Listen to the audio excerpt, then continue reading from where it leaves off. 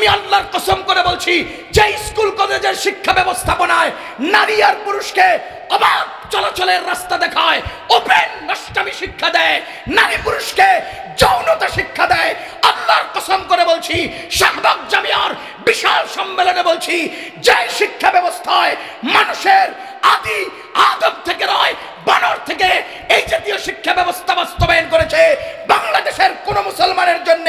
ওই শিক্ষা প্রতিষ্ঠানে ছাত্র ছাত্রীকে পড়ানো ভর্তি করানো হারাম হারাম হারাম। কোন অবস্থাতেই স্কুল কলেজে নষ্টামি শিক্ষা দেওয়ার জন্য আপনার সন্তানকে পড়াবেন না। যদি না পারেন অশিক্ষিত রেখে দেন দুশ্চরিত্র বানাবেন না। যদি না পারেন, অশিক্ষিত রেখে রেখে দেন, অমানুষ বানাবেন না। যদি না পারেন, আল্লাহর দোহাই লাগে, মাদ্রাসায় পড়িয়ে তাকে দিন শিখান, সত্য মিথ্যা বুঝতে শিখান, হালাল, হারাম শিখতে শিখান, শুদ্ধ তেলাওয়াত শিখতে শিখান অজু আর গুসলের তরিকা শিখান। ইরাকি চিন্তাধারার?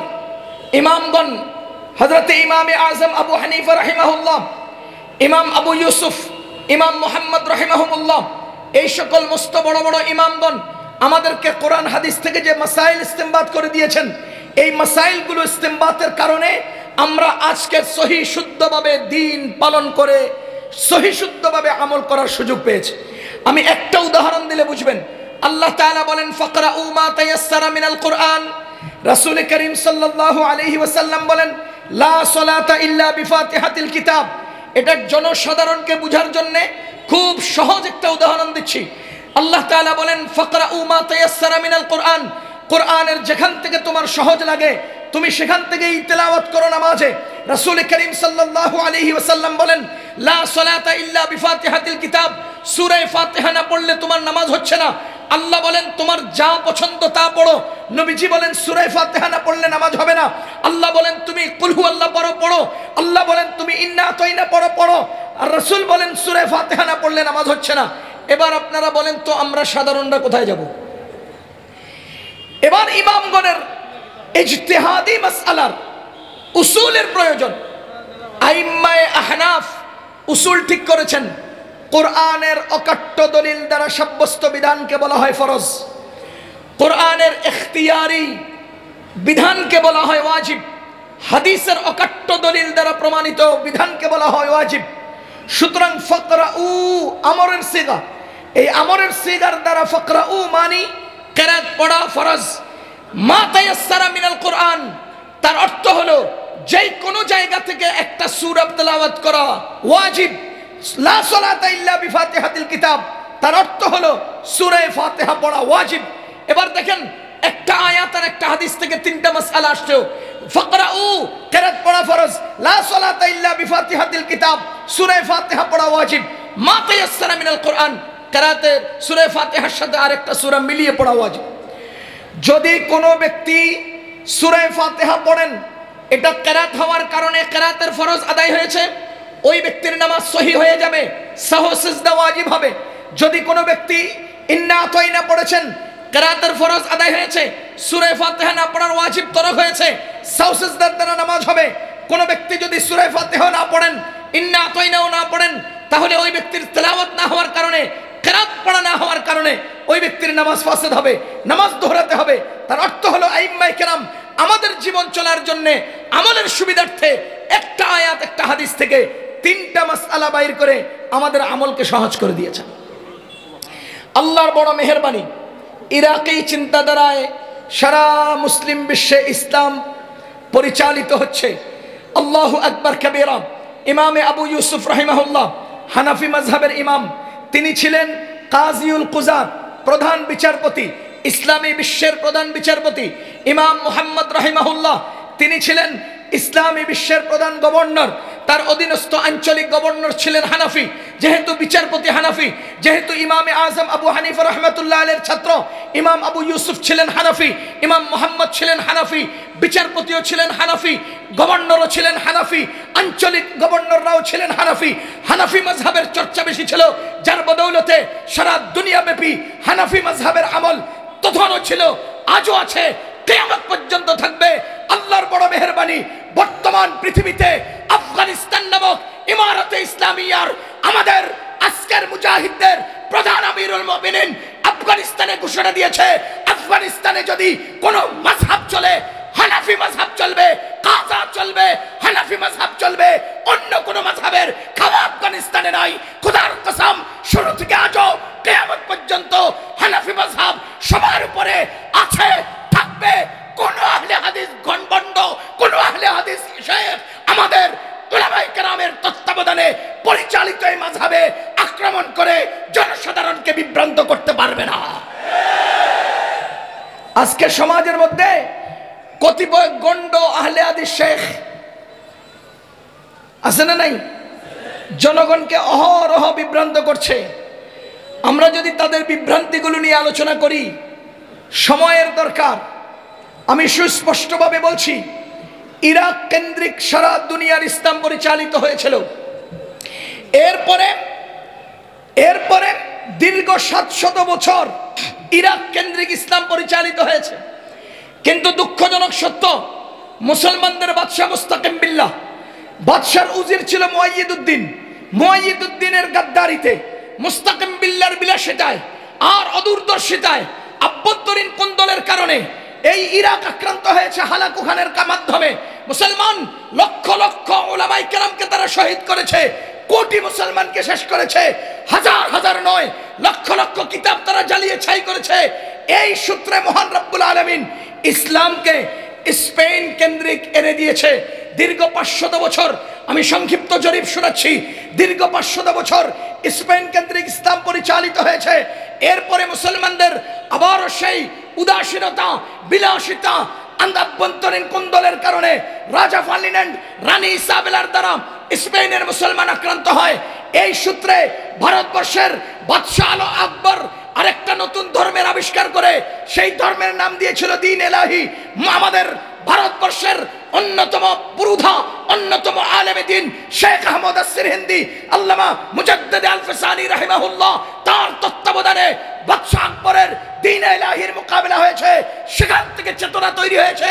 শাহ উল্লাহর মাধ্যমে শাহ আব্দুল আজিজের মাধ্যমে শাহ আব্দুল কাদিরের মাধ্যমে আল্লামা কাসিম নানতবির মাধ্যমে ভারতবর্ষে দারুল উলুম দেওবন্দের চেতনায় উজ্জীবিত হয়েছে দারুল উলুম দেওবন্দ প্রতিষ্ঠিত হয়েছে তার তত্ত্বাবধানে সারা দুনিয়াব্যাপী আজ ইসলাম পরিচালিত হচ্ছে আল্লাহর কসম করে বলছি স্পেনকে কাফেররা দখল করেছে ইরাককে সুনসিয়ারা দখল করেছে আরবকে সালাফিরা খেয়ে ফেলেছে আজকে যদি দিন শিখতে হয়, আজকে যদি দিন জানতে হয় উলামায়ে দেওবন্দ, দারুল উলুম দেওবন্দ যাওয়া কোনো রাস্তা নাই, কোনো রাস্তা নাই, কোনো রাস্তা নাই।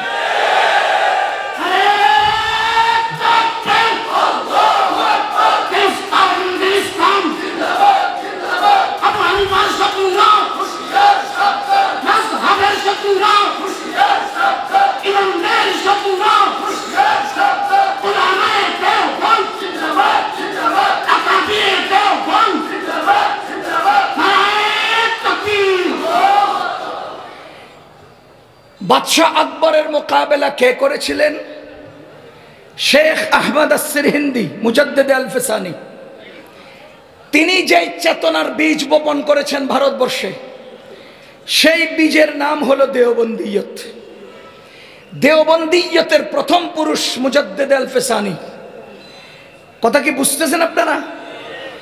ওই বাদশাহ আকবরের দিন এলাহির মোকাবেলে ভারতবর্ষের যেই উত্থান হয়েছিল ওলামাই কেরামের, দেওবন্দিয়তের, তার প্রথম বীজ রেখেছিলেন মুজাদ্দেদ আলফেসানি রাহিমাহুল্লাহ।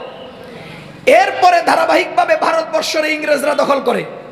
শাহ ওলিউল্লাহ মহাদ্দেসে দেহলবী রহমতুল্লাহ আলাই তার সন্তান শাহ আব্দুল আজিজ মহাদ্দেসে দেহলবী তিনি ভারতবর্ষকে দারুল হরব ঘোষণা দেন। সেই সূত্র ধরে ভারতে ইংরেজদের মোকাবিলে যুদ্ধ হয়। আঠারোশো একত্রিশ খ্রিস্টাব্দের শাহ শাহ ইসমাইল শহীদ, শাহ আহমদ শহীদ রহমতুল্লাহ আলাই পাকিস্তানের বালাকোটের রাজা রঞ্জিত সিং এর মোকাবিলে যুদ্ধে শাহাদত বরণ করেন। সেই সূত্র ধরেই আঠারোশো ছাপ্পান্ন খ্রিস্টাব্দে আজাদি আন্দোলন হয়। আঠারোশো ছাপ্পান্ন খ্রিস্টাব্দে আন্দোলনের একটা নতুন বীজ, নতুন একটা সূত্র তৈরি হয়। আল্লামা কাসেম নানতবি শাহ মুজাব হযরত হাজী ইমদাদুল্লাহ মুহাজির মক্কি হজরত রশিদ আহমদ গঙ্গুহি রহমতুল্লাহ আলের তত্ত্বাবধানে নতুন সরকার, ইসলামী সরকারের হুকুমতের ঘোষণা হয় এবং আঠারোশো সাতান্ন খ্রিস্টাব্দে গণ আন্দোলনের আজাদি আন্দোলন হয়। এর কিছুদিনের ব্যবধানে ইংরেজরা তদন্ত করে আলেমদেরকে এবং কোরআন শরীফকে জ্বালিয়ে দেয়। ও মুসলমান, লম্বা ইতিহাস বলার সময় নেই। আঠারোশো ছেষট্টি খ্রিস্টাব্দে ভারতের দেওবন্দে একজন ছাত্র, একজন শিক্ষক নিয়ে সুদূর প্রসারী পরিকল্পনার উপর ভিত্তি করে, আল্লাহর উপর ভরসা করে আল্লামা কাসেম নানতবির হাত ধরে ভারতের দেওবন প্রতিষ্ঠিত হয়। মুসলমান ইংরেজরা তিন লক্ষ কোরআন শরীফ জ্বালিয়ে দিয়েছিল। আজকে পৃথিবীতে দেওবন্দের মাধ্যমে তিনশো কোটি কোরআন আল্লাহ দুনিয়াতে ছড়িয়ে দিয়েছে। আজকে আমাদের দারুল উলুম দেওবন্দের শাখা প্রশাখা কওমি মাদ্রাসাগুলো কেউ কেউ ধ্বংস করে দিতে চায়।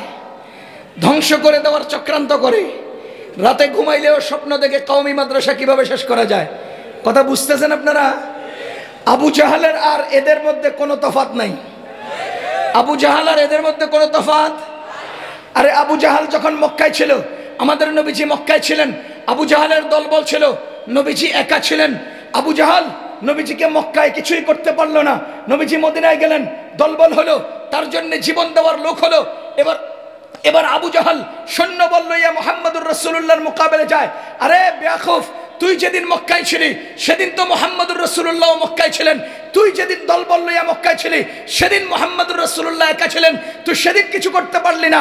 আজকে তার দলবল হলো, হাজার মাইল দূরে গিয়া তুই মোহাম্মদুর রসুল্লাহর কী বা করতে পারবি? আমি ওদেরকে মনে করিয়ে দিতে পারি। মনে রাখবেন দারুল আলম দেওবন বা ওলামাই দেওবন্দিরা যারা শেষ করতে চান, কওমি মাদ্রাসাকে বিরুদ্ধে যারা চক্রান্ত করতে চান, আপনাদেরকে মনে করিয়ে দিতে চাই, আঠারোশো ছেষট্টি খ্রিস্টাব্দে এক ছাত্র, এক উস্তাদ দিয়ে তৈরি হওয়া দারুল আলম দেওবন তোমাদের দাদা ইংরেজদের কলিজার মধ্যে প্রতিষ্ঠিত হয়েছে। সেই দিন দেওবন ছিল একা, ছাত্র ছিল একা উস্তাদ ছিলেন একা।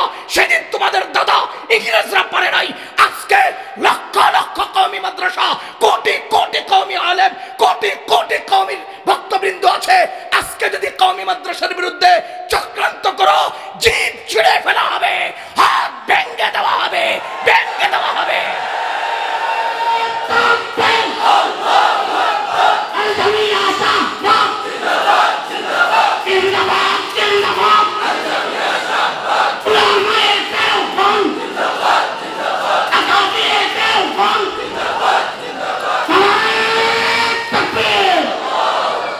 ওরা মনে করেছে শাহবাগ মাদ্রাসার বিল্ডিংগুলোর নাম কওমি মাদ্রাসা।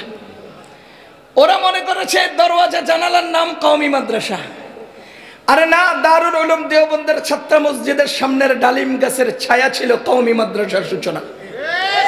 তোমরা আমাদের বিল্ডিং এর তালা লাগায় দিবা, ছাদ ভেঙে ফেলবা, ওয়াল শেষ করে দিবা। আমরা আমাদের আগের স্মৃতি আগের জায়গায় ফিরে যাব। যতদিন গাছ থাকবে, গাছের ছায়া থাকবে, ততদিন কওমি মাদ্রাসা থাকবে। যতদিন গাছ থাকবে, গাছের ছায়া থাকবে, ততদিন দিনের শিক্ষা থাকবে, কালিমার তালিম থাকবে। কথা বলেন ঠিক কিনা? সুতরাং আজ থেকে প্রতিজ্ঞা গ্রহণ করছি, ও মুসলমান, এই সুদূর প্রসারী চক্রান্ত বাস্তবায়নের জন্যে আমাদের স্কুল, কলেজ থেকে আমাদের আরবি শিক্ষাকে দূর করেছে। কোরআন শিক্ষাকে দূর করেছে, হাদিস শিক্ষাকে দূর করেছে, সততা, ইনসাফ শিক্ষা বিলুপ্ত করেছে সুশিক্ষাকে ধ্বংস করেছে, শিক্ষার কোমর ভেঙেছে কুশিক্ষা প্রতিষ্ঠা করছে। আমি আল্লাহর কসম করে বলছি যে স্কুল, কলেজের শিক্ষা ব্যবস্থাপনায় নারী আর পুরুষকে অবাধ চলাচলের রাস্তা দেখায়, ওপেন নষ্টামি শিক্ষা দেয়, নারী পুরুষকে যৌনতা শিক্ষা দেয়, আল্লাহর কসম করে বলছি, শাহবাগ জামিয়ার বিশাল সম্মেলনে বলছি যে শিক্ষা ব্যবস্থায় মানুষের আদি আদম থেকে নয়, বানর থেকে এই জাতীয় শিক্ষা ব্যবস্থা বাস্তবায়ন করেছে। বাংলাদেশের কোন মুসলমানের জন্য ওই শিক্ষা প্রতিষ্ঠানে ছাত্র ছাত্রীকে পড়ানো, ভর্তি করানো হারাম হারাম হারাম। কোন অবস্থাতেই স্কুল, কলেজে নষ্টামি শিক্ষা দেওয়ার জন্য আপনার সন্তানকে পড়াবেন না। যদি না পারেন অশিক্ষিত রেখে দেন, দুশ্চরিত্র বানাবেন না। যদি না পারেন অশিক্ষিত রেখে রেখে দেন, অমানুষ বানাবেন না। যদি না পারেন আল্লাহর দোহাই লাগে, মাদ্রাসায় পড়িয়ে তাকে দিন শিখান, সত্য মিথ্যা বুঝতে শিখান, হালাল, হারাম শিখতে শিখান, শুদ্ধ তেলাওয়াত শিখতে শিখান অজু আর গুসলের তরিকা শিখান, দুনিয়াতেও লাভবান হবে, আখেরাতেও লাভবান হবে ইনশাআল্লাহ। আল্লাহ তাআলা আমাদের এই সম্মেলনকে কবুল করুন।